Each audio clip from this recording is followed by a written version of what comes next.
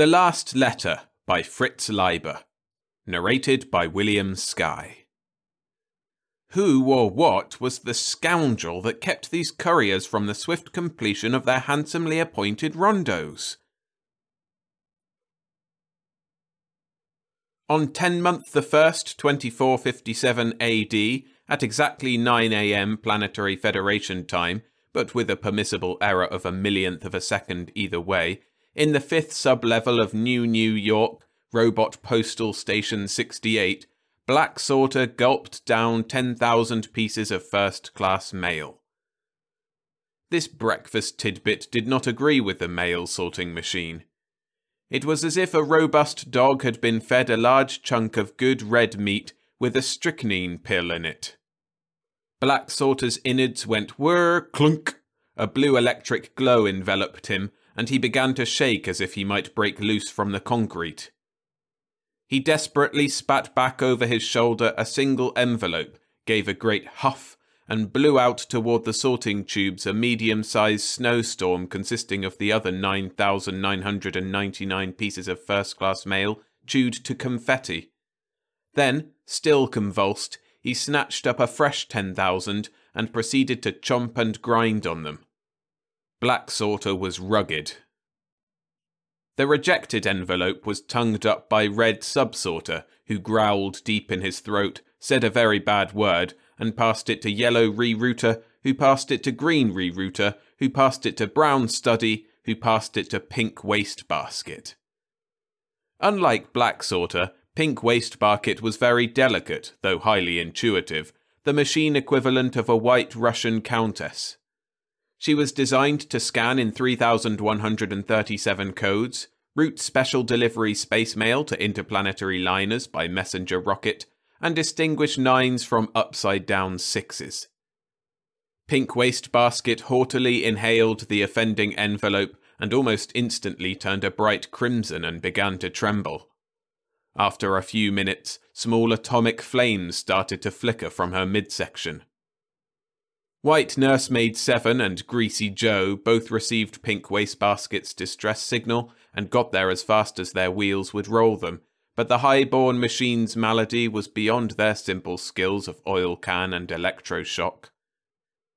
They summoned other machine tending and repairing machines, ones far more expert than themselves, but all were baffled.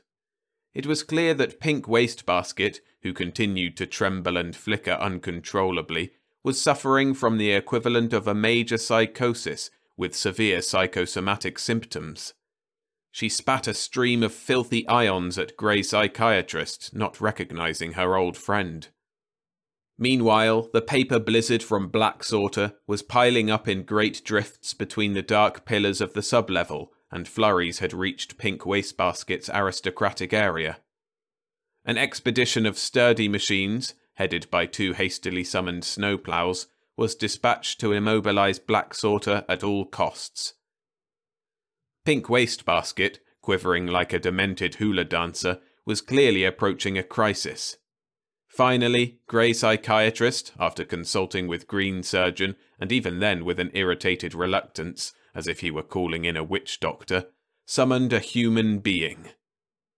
The human being walked respectfully around Pink Wastebasket several times, and then gave her a nervous little poke with a rubber-handled probe. Pink Wastebasket gently regurgitated her last snack, turned dead white, gave a last flicker and shake, and expired. Black Coroner recorded the immediate cause of death as tinkering by a human being. The human being, a bold and scrawny one named Potshelter, picked up the envelope responsible for all the trouble, stared at it incredulously, opened it with trembling fingers, scanned the contents briefly, gave a great shriek, and ran off at top speed, forgetting to hop on his perambulator which followed him making anxious clucking noises. The nearest human representative of the Solar Bureau of Investigation, a rather wooden-looking man named Crumbine, also bold, recognized Potshelter as soon as the latter burst gasping into his office, squeezing through the door while it was still dilating. The human beings whose work took them among the top brass, as the upper echelon machines were sometimes referred to, formed a kind of human elite, just one big nervous family. Sit down, Potshelter, the SBI man said. Hold still a second so the chair can grab you.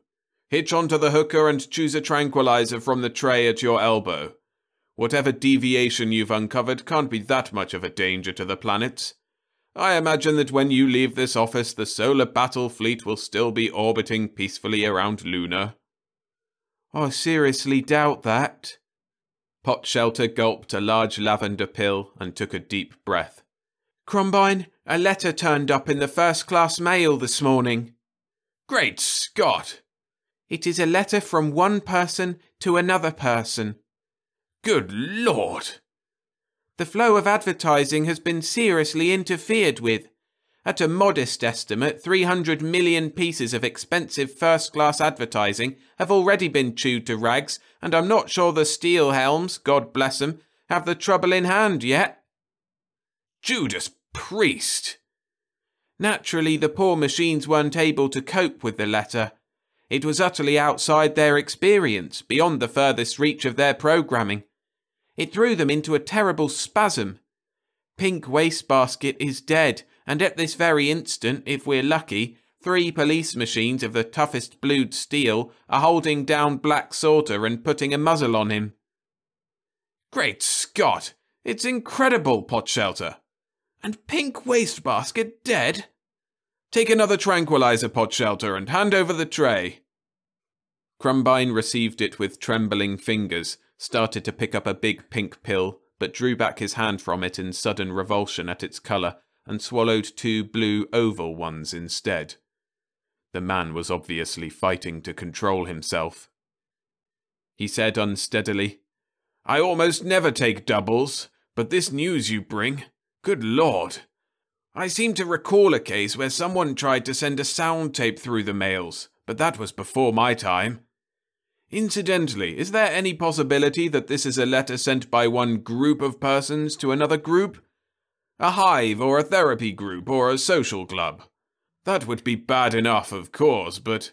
No, just one single person sending to another. Potshelter's expression set in grimly solicitous lines. I can see you don't quite understand, Crumbine. This is not a sound tape, but a letter written in letters. You know, letters, characters, like books. Don't mention books in this office! Crumbine drew himself up angrily and then slumped back. Excuse me, Potshelter, but I find this very difficult to face squarely. Do I understand you to say that one person has tried to use the mails to send a printed sheet of some sort to another? Worse than that.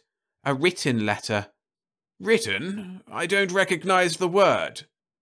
It's a way of making characters, of forming visual equivalents of sound without using electricity. The writer, as he's called, employs a black liquid and a pointed stick called a pen. I know about this because one hobby of mine is ancient means of communication. Crumbine frowned and shook his head.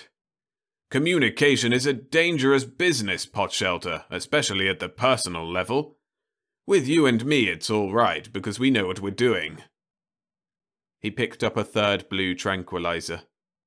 But with most of the hive folk, person to person communication is only a morbid form of advertising, a dangerous travesty of normal newscasting, catharsis without the analyst, recitation without the teacher, a perversion of promotion employed in betraying and subverting. The frown deepened as he put the blue pill in his mouth and chewed it. But about this pen, do you mean the fellow glues the pointed stick to his tongue and then speaks, and the black liquid traces the vibrations on the paper? A primitive non electrical oscilloscope? Sloppy but conceivable and producing a record of sorts of the spoken word. No, no, Crumbine. Potshelter nervously popped a square orange tablet into his mouth. It's a handwritten letter. Crumbine watched him. I never mix tranquilizers, he boasted absently. Handwritten, eh? You mean that the message was imprinted on a hand? And the skin or the entire hand afterward detached and sent through the mails in the fashion of a Martian reproach? A grisly find indeed, Potshelter. You still don't quite grasp it, Crumbine. The fingers of the hand move the stick that applies the ink, producing a crude imitation of the printed word. Diabolical! Crumbine smashed his fist down on the desk so that the four phones and two score microphones rattled. I tell you, Potshelter, the SBI is ready to cope with the subtlest modern deceptions, but when fiends search out and revive tricks from the pre-atomic cave era, it's almost too much. But great Scott, I dally while the planets are in danger.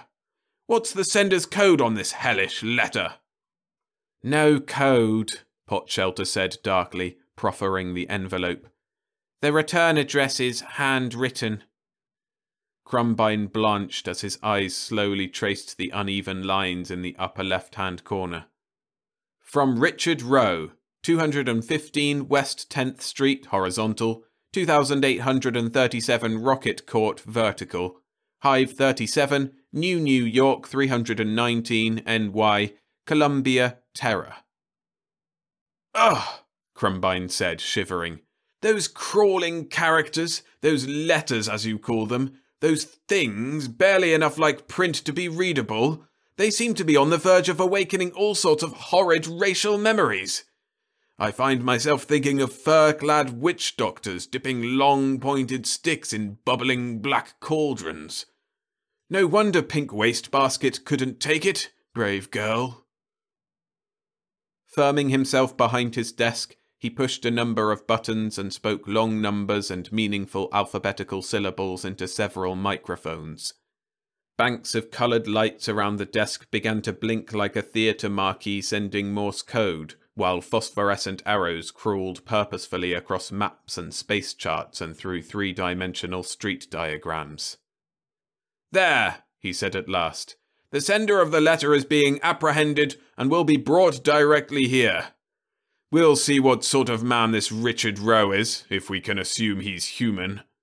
Seven precautionary cordons are being drawn around his population station, three composed of machines, two of SBI agents, and two consisting of human and mechanical medical combat teams.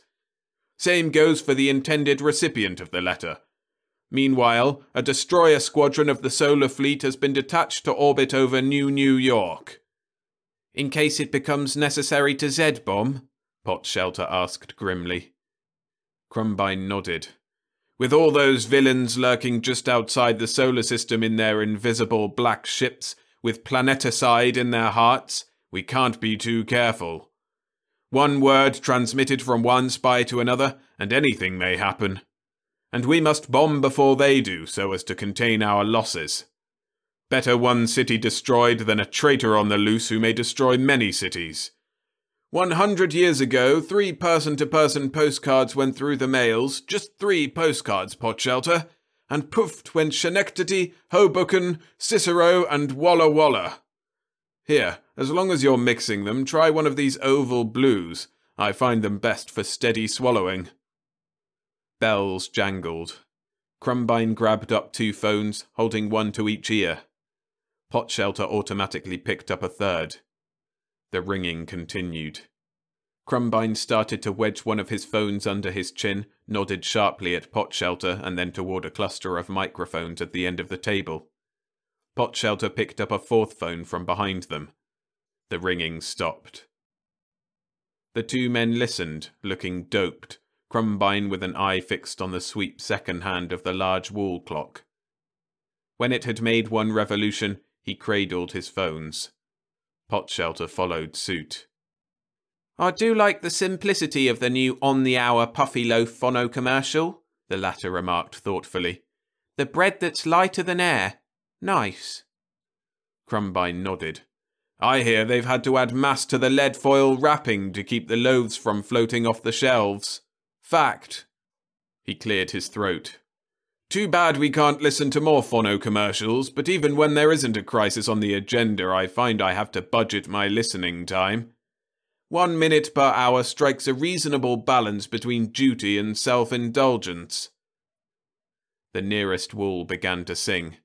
Mr. J. Augustus Crumbine, we all think you're fine, fine, fine, fine. Now out of the sky I blew, Come some telegrams for you. The wall opened to a small heart shape toward the centre, and a sheaf of pale yellow envelopes arced out and plopped on the middle of the desk. Crumbine started to leaf through them, scanning the little transparent windows. Hmm, electronic soap, better homes and landing platforms, psycho blinkers, your girl next door, poppy woppies, poopsy whoopsies. He started to open an envelope, then, after a quick look around and an apologetic smile at Potshelter, dumped them all on the disposal hopper, which gargled briefly. After all, there is a crisis this morning, he said in a defensive voice. Potshelter nodded absently. I can remember back before personalised delivery and rhyming robots, he observed. But how I'd miss them now, so much more distingué than the hives with their non-personalised radio, TV and stereo advertising. For that matter, I believe there are some backward areas on Terra where the great advertising potential of telephones and telegrams hasn't been fully realised and they are still used in part for personal communication. Now, me, I've never in my life sent or received a message except on my walkie-talkie. He patted his breast pocket. Crumbine nodded, but he was a trifle shocked and inclined to revise his estimate of Potshelter's social status. Crumbine conducted his own social correspondence solely by telepathy. He shared with three other SBI officials a private telepath, a charming albino girl named Agnes. Yes, and it's a very handsome walkie-talkie, he assured Potshelter a little falsely. Suits you. I like the upswept antenna. He drummed on the desk and swallowed another blue tranquilizer. Damn it, what's happened to those machines? They ought to have the two spies here by now. Did you notice that the second, the intended recipient of the letter, I mean, seems to be female? Another good Terran name, too, Jane Doe. Hive in Upper Manhattan. He began to tap the envelope sharply against the desk. Damn it, where are they? Excuse me, Potshelter said hesitantly, but I'm wondering why you haven't read the message inside the envelope. Crumbine looked at him blankly. Great Scott! I assumed that at least it was in some sort of secret code, of course. Normally I'd have asked you to have Pink Wastebasket try her skill on it, but... Uh... His eyes widened and his voice sank. You don't mean to tell me that it's... Potshelter nodded grimly. Handwritten too, yes. Crumbine winced. I keep trying to forget that aspect of the case. He dug out the message with shaking fingers, fumbled it open, and read Dear Jane, It must surprise you that I know your name, for our hives are widely separated. Do you recall day before yesterday when your guided tour of Grand Central Spaceport got stalled because the guide blew a fuse? I was the young man with hair in the tour behind yours. You were a little frightened and a group mistress was reassuring you. The machine spoke your name. Since then, I have been unable to forget you. When I go to sleep, I dream of your face looking up sadly at the mistress's kindly photocells. I don't know how to get in touch with you, but my grandfather has told me stories his grandfather told him that his grandfather told him about young men writing what he calls love letters to young ladies. So I am writing you a love letter. I work in a first class advertising house, and I will slip this love letter into an outgoing 10,000 pack and hope. Do not be frightened of me, Jane. I am no caveman except for my hair. I am not insane. I am emotionally disturbed, but in a way that no machine has ever described to me. I want only your happiness. Sincerely, Richard Roe. Crumbine slumped back in his chair, which braced itself manfully against him, and looked long and thoughtfully at Potshelter. Well, if that's a code, it's certainly a fiendishly subtle one. You'd think he was talking to his girl next door. Potshelter nodded wonderingly. I only read as far as where they were planning to blow up Grand Central Spaceport and all the guides in it. Judas Priest, I think I have it! Crumbine shot up. It's a pilot advertisement, boy next door, or that kind of thing, printed to look like handwrittening, which would make all the difference.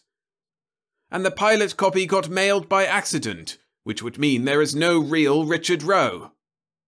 At that instant, the door dilated and two blue detective engines hustled a struggling young man into the office. He was slim, rather handsome, had a bushy head of hair that had somehow survived evolution and radioactive fallout, and across the chest and back of his paper singlet was neatly stamped Richard Roe.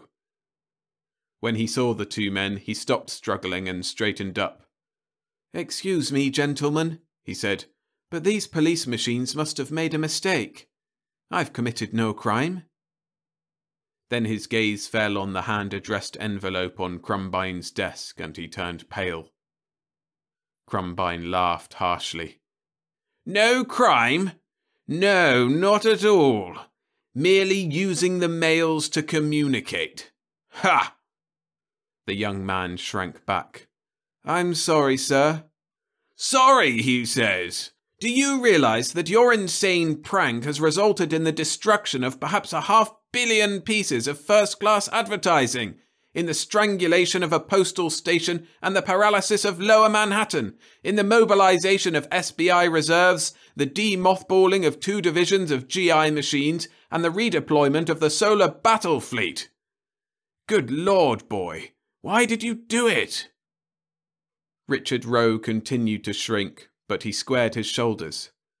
I'm sorry, sir, but I just had to. I just had to get in touch with Jane Doe. A girl from another hive? A girl you'd merely gazed at because a guide happened to blow a fuse? Crumbine stood up, shaking an angry finger. Great Scott, boy, where was your girl next door?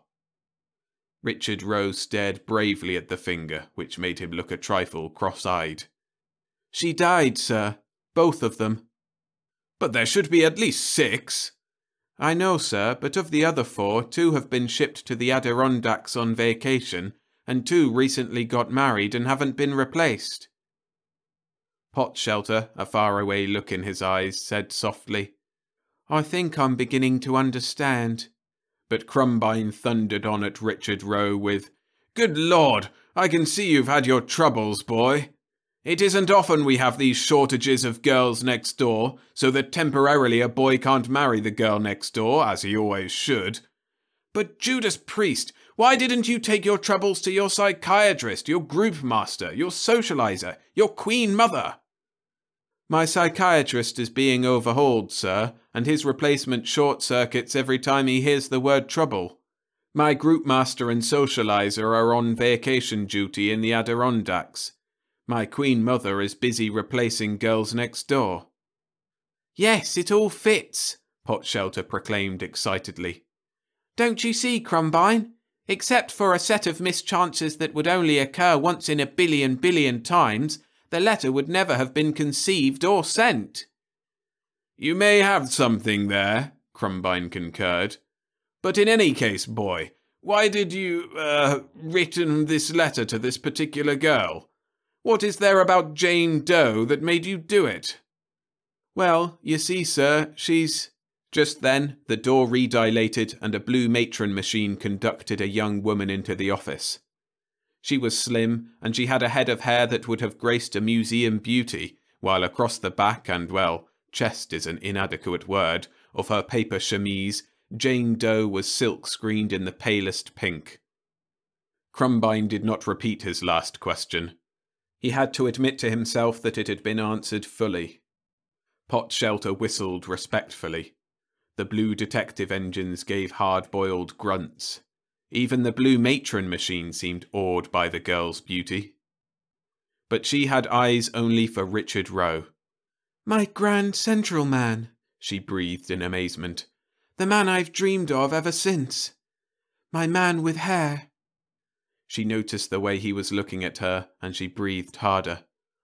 Oh, darling, what have you done? I tried to send you a letter. A letter? For me? Oh, darling.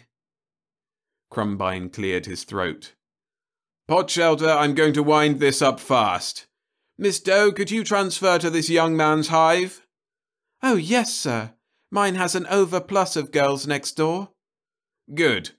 Mr. Roe, there's a sky pilot two levels up. Look for the usual white collar just below the photo cells. Marry this girl and take her home to your hive. If your queen mother objects, refer her to, uh, Potshelter here. He cut short the young people's thanks. Just one thing, he said, wagging a finger at Roe. Don't written any more letters. Why ever would I? Richard answered. Already my action is beginning to seem like a mad dream. Not to me, dear, Jane corrected him. Oh, sir, could I have the letter he sent me? Not to do anything with, not to show anyone, just to keep. Well, I don't know, Crumbine began. Oh, please, sir. Well, I don't know why not, I was going to say. Here you are, miss. Just see that this husband of yours never writtens another.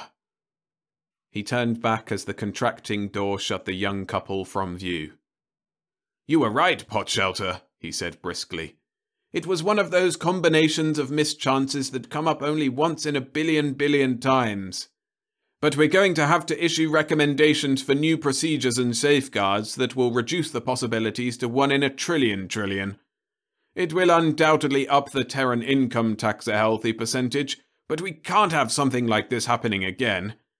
Every boy must marry the girl next door, and the first class mails must not be interfered with. The advertising must go through. I'd almost like to see it happen again, Potshelter murmured dreamily, if there were another Jane Doe in it.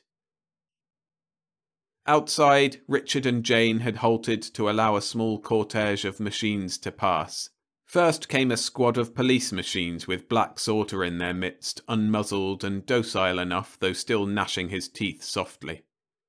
Then, stretched out horizontally and borne on the shoulders of grey psychiatrist, black coroner, white nursemaid Seven, and greasy Joe, there passed the slim form of pink wastebasket, snow white in death. The machines were keening softly, mournfully. Round about the black pillars, little Mecco mops were scurrying like mice, cleaning up the last of the first class mail bits of confetti.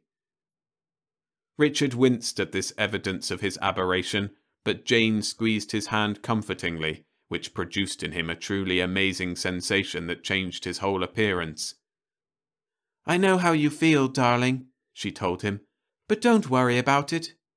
Just think, dear, I'll always be able to tell your friends' wives something no other woman in the world can boast of that my husband once wrote me a letter.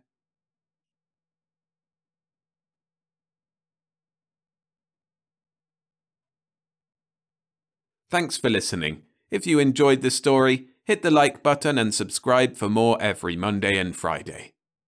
And you can listen to another Fritz Leiber story, A Bad Day for Sales, by clicking the link that is on screen now.